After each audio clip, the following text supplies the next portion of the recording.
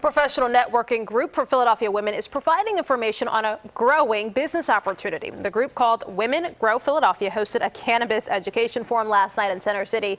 Pennsylvania is now implementing its medical marijuana program, which was signed into law last April. Last night's forum provided ideas about marijuana's role in fighting illnesses.